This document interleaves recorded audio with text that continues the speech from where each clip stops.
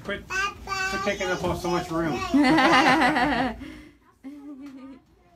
Now for this reunion that will tug on your heartstrings. A man flew home to Houston to surprise his mother, who is in the hospital.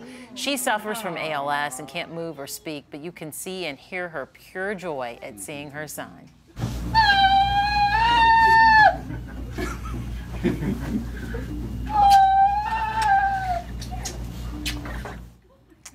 Dr. Johnny Salinas is a professor of music in China, but came home after being away for the last 10 months. He'll get to be home with his family for the next two months. Making mama so happy there. Oh my goodness. Oh, That's awesome. that is a, a, a tearjerker and so special for the entire Oh, So family. sweet. It is. It Coming is. home to take care of mom. Always got to take care of mom. We'll see you back here tomorrow. Have a good night.